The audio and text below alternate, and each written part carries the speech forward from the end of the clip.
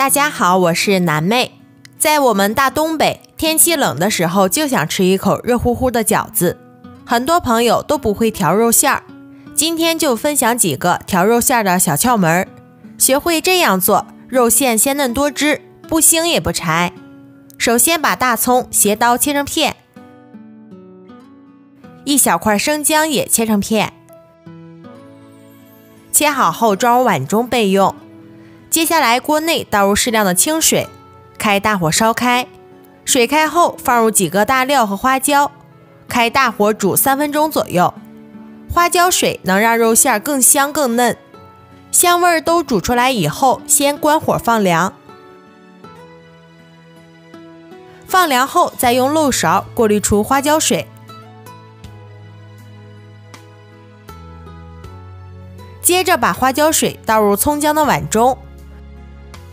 用手充分的抓拌均匀，让葱姜和花椒水的味道融为一体，这时候就能闻到香味儿了。抓匀后先放一旁备用。接下来准备一斤的前腿肉，做肉馅的时候一定是三分肥七分瘦的比例来调，这样饺子馅的口感也好吃。用绞肉机给它绞碎，时间充裕的朋友也可以用刀剁。绞碎后倒入大碗中。然后把三分之一的花椒葱姜水倒进来，下手充分的抓拌均匀，让肉馅儿充分的吸收花椒水，这也是肉馅儿鲜嫩多汁的关键。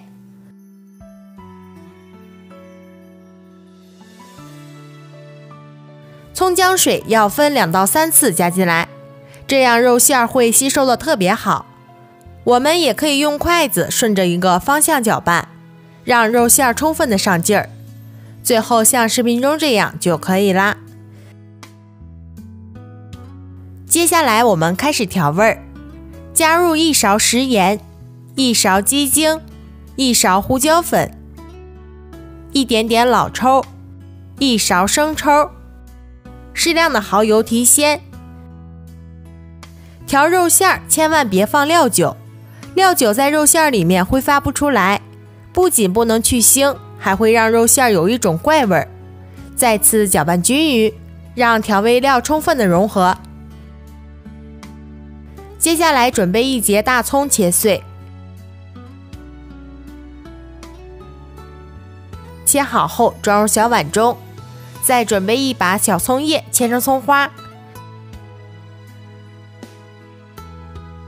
切好后装入碗中备用。这样我们的肉馅儿就调好啦。大葱花和小葱花都不要着急加进去，肉馅儿一定要现用现加。如果肉馅儿里面提前加了葱花，放置了太久，会有一股难闻的味道，一会儿就要包饺子了。所以我就把切好的葱花都加进来了。如果想让它吃起来更香，也可以用热油烫一下。因为我个人比较喜欢原味的葱，所以没有用热油泼。再次搅拌均匀就可以包饺子啦。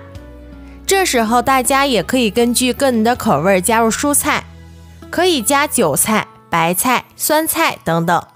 这样调好的肉馅儿，无论是用来包包子、包饺子、包馄饨、烙馅饼、做锅贴，都非常的好吃。